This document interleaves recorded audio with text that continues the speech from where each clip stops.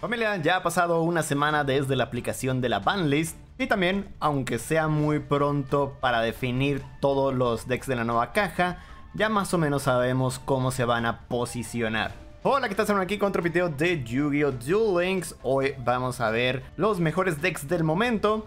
Solamente les recuerdo, yo siempre me baso en la página de Duel Links Meta, los datos que tienen ahí, los decks más usados dentro de los torneos para definir esta tier list. Pero antes de continuar, quería agradecer a todos los nuevos suscriptores al YouTube Morado, Joaquín Meras, Rukia, también Darkirox que regaló una suscripción, al igual que OnlyHas que regaló 5 suscripciones. Muchas gracias por su gran apoyo y también mandarle un gran saludo a todos los miembros del canal y suscriptores del Twitch. En verdad que apoyan muchísimo al canal con eso. Vale, entonces nos pasamos a lo que pondré como tier 1. Como dije, todavía es muy pronto para definir los decks de la nueva caja. Y este es precisamente de la nueva caja. Pero me voy a atrever a decir que va a ser tier 1 debido a que ya ahorita, incluso antes de que pase la semana, ya se está convirtiendo en el más usado. Incluso con los que ya tienen una semana entera siendo usados. Diferencia de dos días y eso va a hacer que este deck tenga un poco más de usos de decks. Ojo, todo esto recuerden en torneos. Y esta versión que les estoy mostrando en pantalla es la versión que más se usa o algo parecidón, ya que hay miles de versiones de este deck. Pero sí, la mayoría lo que prefiere es tener jugadas con una sola carta. Quiere decir, ejemplo, Dotscaper puedes hacer link 1, ya sea con el discípulo o con el link Uribo, y luego el Dotscaper se va a revivir para poder hacer el link 2 y luego pasar así y ya empezar a hacer todo tu desmadre con los orcos. Igual, lo mismo con esta, tiras una carta al cementerio, entonces eh, digo, esto es lo, lo, normal, lo que todo el mundo había puesto desde un principio, pero ahora también tenemos a este güey que te invoca un token cuando es invocado, y también otra opción son los mecha fantasmas, que igual invocan tokens y ya con eso haces toda tu jugada. Y bueno, si quieren ver un poco de jugadas que se pueden hacer con el deck, links del video correspondiente en la descripción.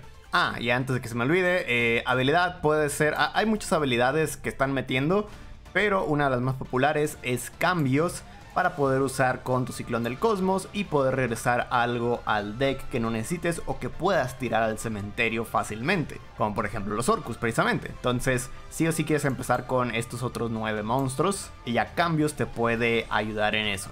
Igual hay otros con tumba sellada, entre otras habilidades. Y bueno, aquí seguramente muchos me van a estar preguntando, oye, ¿cómo contrarrestamos este deck? Pues bueno, hay cuatro cartas muy populares que se están usando. Eh, una es el Morador del Abismo, que impide que se activen los efectos en el cementerio. No me recuerdan activarlo desde antes o cuando caiga exactamente un Orcus al cementerio antes de que active su efecto.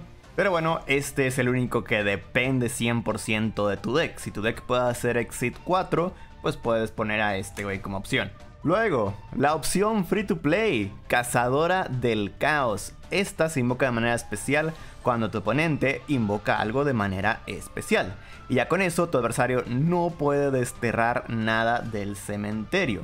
Entonces ya con eso le evitas hacer toda su estrategia de Orcust. Ahora el problema es que en algunas ocasiones van a poder dejar dos monstruos en campo, dándole la, la posibilidad de hacer a Galatea y luego pasarse al Dingirsu, el cual te va a quitar a tu cazadora del caos.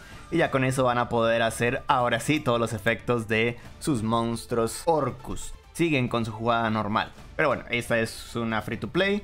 Pero las mejores cartas son dos cartas URs que salen en cajas grandes desgraciadamente.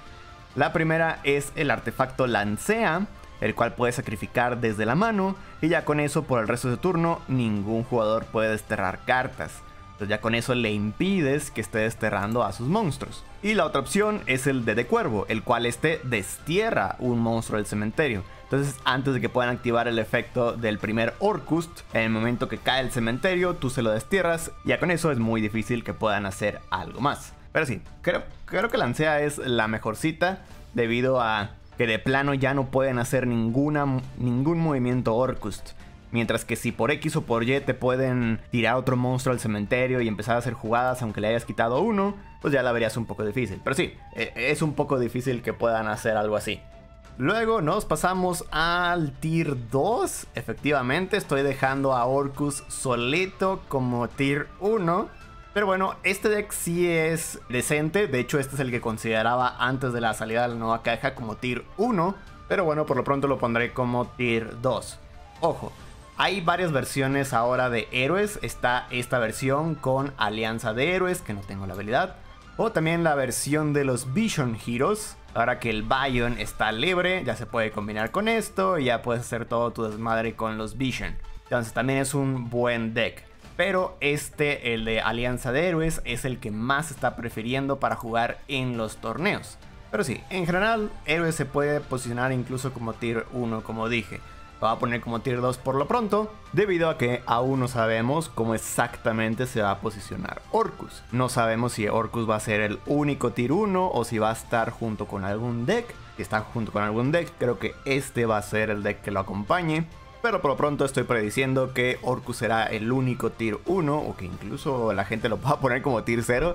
Pero no, yo creo que tier 1, el único tier 1 para Orcus sería la mejor explicación. Y el siguiente tier 2 es el deck de los Phantom Knights, con su neador el Rikyum. Y es que este, después de el pequeño nerfeo de la habilidad, perdió una ligera consistencia. Pero la realidad es que ya ahora nada más usan una sola carta que no pueden regresar con la habilidad. Que preferirían, o sea, si la sacaran, preferirían regresarla al deck para luego tirarla con algún otro monstruo al cementerio y así poder activar su efecto desde el cementerio. Pero sí, simplemente perdieron esa opción, simplemente ahora es casi casi sí o sí empezar con dos monstruos para poder hacer tu jugada. Entonces hay algunos que están poniendo incluso un poquito más de monstruos para tener más posibilidades de empezar con dos. Y bueno, yo sé que este deck en Duel Links Meta, por ejemplo, está como tier 1, pero viendo los datos parece ser que ya la gente no lo está usando tanto. Digo, esto puede ser porque tal vez en algunos torneos está prohibido usar este deck debido a la habilidad. Pero creo que la mayoría lo que hace es simplemente decir, hey, ya no vas a poder cambiar tus cartas de Caballero Fantasma sin los, eh, al menos que ya esté la habilidad puesta, que ya hayan cambiado la habilidad. Entonces sí, no creo que sea un factor, pero incluso este deck se vería eh, como tier 3 y no fuera por ese detallito de la habilidad, pero lo estoy dejando como tier 2 de todas maneras porque estoy seguro que sí se va a seguir viendo mucho. Y ahora nos pasamos al tier 3. El tier 3 es puramente de Expendulous. Y este primer deck, el de las Golf Acordes, ha demostrado muy buena jugabilidad. Por cierto, no está terminado mi deck, tendría que ser tres copias de esta, ya que es la buscadora. Pero bueno, y es que este deck incluso se ha posicionado como tercer o cuarto lugar dentro de los decks más usados en el competitivo. Así que incluso este podría subir a ser tier 2, pero debido a las diferentes cartas que hay para contrarrestar péndulos, pues lo dejo como tier 3 todavía. Pero sí, un muy buen deck que el deck principal sale puramente de una mini caja. Y por último tenemos el regreso de los DDDDs.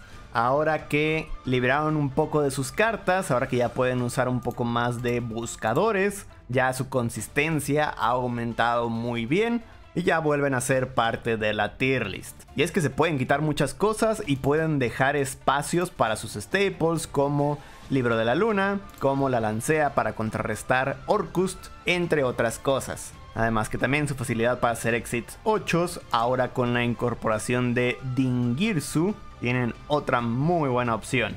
Y bueno, esa es la tier list. Eh, por supuesto hay varios decks que también se pueden considerar decentes, como Dark Magician, pero debido a que los datos no muestran tantos decks, eh, pues no lo estamos considerando dentro.